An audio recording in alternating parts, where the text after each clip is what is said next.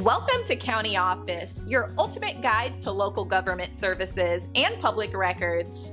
Let's get started. What is credit card processing? Imagine you're at your favorite coffee shop. You've just ordered that perfect cup of Java. You swipe your card, and voila. But what happens behind the scenes?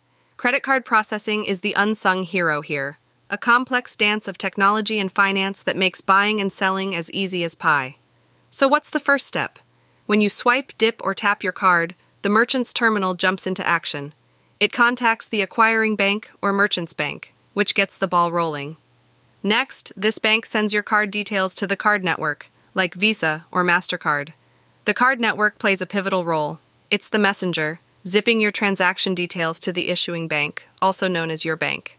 Your bank takes a peek at your account, checking if you've got the funds or credit. If all's good, it sends an approval back through the card network. This approval is like a green light.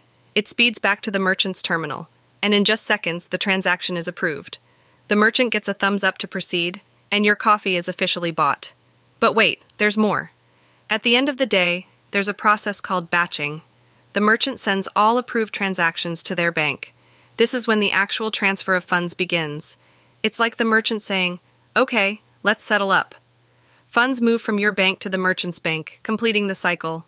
And just like that, the magic of credit card processing keeps the economy humming.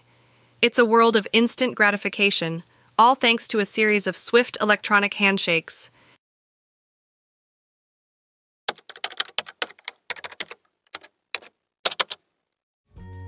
To learn more, check out these links, which you can click in the description below. And feel free to comment your questions. We're here to help. Thanks for tuning into our video. Please like and subscribe and leave a comment below. See you in the next video.